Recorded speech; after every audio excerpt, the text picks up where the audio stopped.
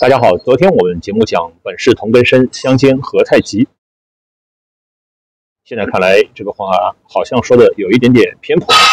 那我们说台湾，或者说呃中华民国这个概念，其实在很多的名嘴嘴里是有一些问题的。首先，我们频道一直主张弘扬中国的传统文化，我们并不主张战争。所以今天我们还特地选了一罐有百合的饮料，跟各位分享，也是想取一个和的意思。那再往下说，呃，这两天台湾问题一定是整个网络华人世界的热点。那在这个热点当中，很多名主播在不同的平台、不同的频道用了很多词，我想是不合适的。我们先说第一个概念，那就是台海中线。我们知道，事实上根本没有什么台海中线的概念，这既不是一个物理概念，也不是一个政治概念。从中国大陆和中华民国。两边的角度来讲，这只是一个一中各表当中的连贯。有了一中各表，那么各自在偌大的中国的土地上割据了一点土地。那墙内那个中国的墙延伸到了这个中线，而流亡去台湾岛的那个中华民国，他们以这个中线为边界，这是这样一个默契或者默认。OK，这个话题还算简单。下一个概念就更扯淡了，也就是所谓的入侵台湾领海。呃，如果你现在还认为你是中华民国，那么你的地图自然是那个海棠叶，你的地图甚至于还包括了台澎金马，而不只是台湾本岛，甚至于太平岛，甚至于还有钓鱼岛。那在这么偌大的一个土地上，如果要说侵犯你的领海或者你的领土，那么共产党已经侵犯了你七十多年了。自然，这不存在所谓侵犯或者不侵犯的概念，这就是一场内战。内战到今天并没有结束，彼此之间也就不存在谁侵犯谁的领海或者领土领空，彼此之间是在同一片土地上，只是在为这个大义而征战。只是今天可能有九十九是大陆的那个共产党所占领。那么流亡到台湾，又引发出了这个张三党、那个李四党。那你们只是在这个百分之一土地上固守，不存在说谁或者是能够抢的更多一点。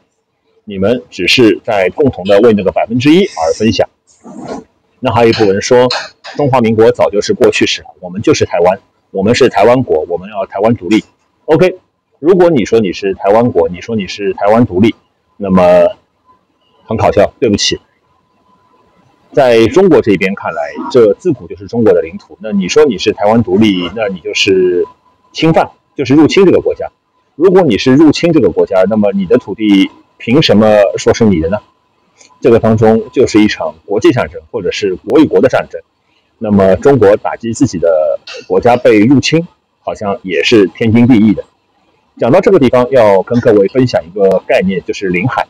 领海既是一个国际法的概念，也是一个海洋法的概念。我们知道，世界第一大强国美国，直到一九九九年才所谓承认了领海，之前美国是没有领海概念的。那最早提到领海概念，大概是荷兰或者英国，他们认为就是大炮可以打到的距离，就是自己对这个海洋的控制。那在这个之后，国际法上又有领海，又有专属经济区、比联区，然后很多很多乱七八糟的这种概念。事实上，这些概念之间到今天为止也没有完全很好的统一，所以很多沿海国家之间事实上存在海洋的纷争。我们知道，国际海洋法公约和国际海洋法庭都是在荷兰海牙。之所以在海牙，就是因为那个时候荷兰是世界上最强的海上国家。那么在这么一个状态下的时候，我们来讨论领海，我想至少对现在的台湾或者现在的中华民国都是有一点尴尬的。那么如果是中美之间来讨论这些领海呢？这里面有几个概念，一个是领海基线的起算点，那大陆自然是没有问题。那么岛和礁怎么样去分别？然后高潮线和低潮线怎么样分别？淡水的出海口怎么样分别？呃，这些就都很有意思了。甚至于有些地方会有三十六海里所谓的控制区，因为它的领海的这个淡水的这个渗透的区域最多可以划到二十四海里，二十四海里以后再有一个十二海里的一个领海的概念。实际上，它所覆盖的水域面积差不多就离海岸线有三十二、三十六海里。那么这些问题说穿了，还是几百年前那句话，在大炮打得到的范围内就是你的领海。我们看一九九六年的台海危机，呃，中共国那边是完全沉默的。为什么沉默？说白了，美国第七舰队派了很多支的航母过来，所以没法说。如果说那是第五次台海危机，我们知道从一九五零年、一九五五年开始，前四次台海危机都是在岛国那边的国民党政府，当然现在是民进党在统治，是他们在朝中国大陆在所谓的侵犯。那那个时候中国大陆也没有跟你讲什么领海啊什么这些乱七八糟的，说白了大家就是在争土地。那九六年那一次是一个反转，但大家都还守着这个所谓的台海中线。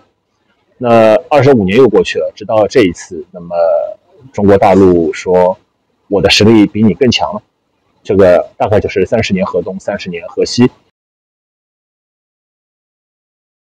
或者就是在以邓小平为首的那一代人韬光养晦之后，所以今天中国大陆有资格说我可以把我的所谓进攻区域划到。你高雄港、基隆港的门口，甚至于昨天就有两百七十多架次的中国大陆的军机在台湾周围，不一定是在台湾的本岛，我们注意这个措辞啊，不一定是台湾的本岛，但可能是在澎湖、金门、马祖、太平岛等等这一些呃巡视。我看美国人的航空母舰也是跑得远远的，日本人也乖乖的闭嘴了。讲白了，还是实力的问题。当然，我内心是完全不主张打仗的。那还有一种说法，说我们是中华民国（括号台湾），呃，这就很有意思了。历史上有很多这样的偏安一隅的小朝廷，从那个衣冠南渡开始。我们频道前两天还说过南渡北归，那个晋渡到了东晋，到了建康，然后自然是被消灭了。再以后，不管是小南唐。还是南宋，甚至于南明小朝廷，呃，哪一个都逃不了在偏安一隅当中被消灭的惨状。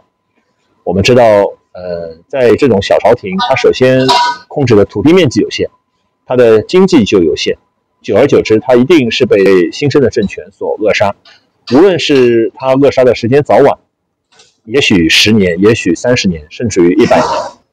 但是这些小朝廷无一幸免，都是被扼杀的。那我想，从一九四八年陈诚去台湾岛，一九四九年老蒋亲自逃到了台湾岛，一晃七十多年下来，这个小朝廷时间应该也不会太长了。嗯，首先我们频道一贯以来不主张战争，其次我们对墙内中国那个小学毕业的博士也没有什么好感。但是从台湾那些名嘴、台湾那些 UP 主的角度，我想很多真的是做的有点点水平差。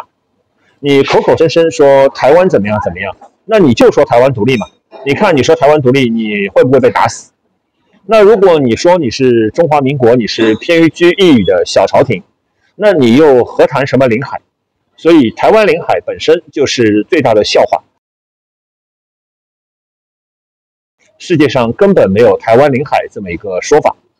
我知道我们频道连做两期关于台海问题的节目，掉了很多粉，但是还是有必要跟镜头前的你讲清楚，什么是所谓台海中线，什么是台湾领海。事实上，世界上本就没有台湾领海。这里是星姐之道，我们与您一起闻道，谢谢，再见。